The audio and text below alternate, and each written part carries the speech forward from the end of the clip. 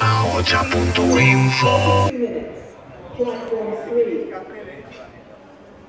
de tren expresa, el Mura Miranda de Ebro.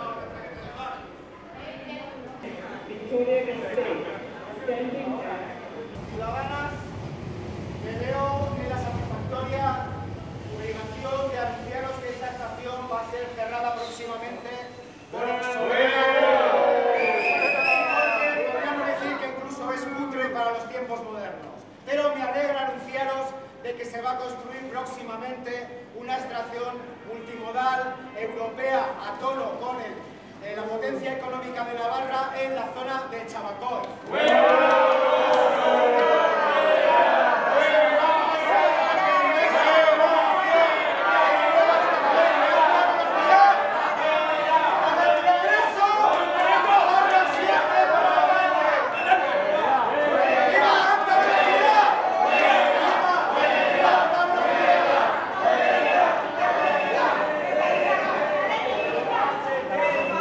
Bueno, hemos hecho una denuncia que se está haciendo también en otras estaciones del recorrido entre Alsaso y Tudela, de la, por un lado de la mentira, la estafa, el timo que supone la construcción del tren de alta velocidad, con la excusa de que quieren quitar el bucle ferroviario y gastarse un montón de millonadas para beneficio de las constructoras, sobre todo de las empresas constructoras, y también alguno que pondrá la mano, el, ¿eh? el que, se, que se cogerá un soborno, un cohecho, lo que sea, y para prestigio, para prestigio entre comillas, claro, de los grandes defensores del alto, tren de alta velocidad como medida estratégica. ¿eh? Y por otro lado, que, hemos venido también, aparte de denunciar eso, a apoyar la, defensa del tren convencional. El tren convencional es el, que, el tren que hasta ahora hemos tenido siempre, el que en el recorrido entre Alsaso y, y Tudela tenía 37 estaciones de apeaderos y ahora, ahora solo tiene 13.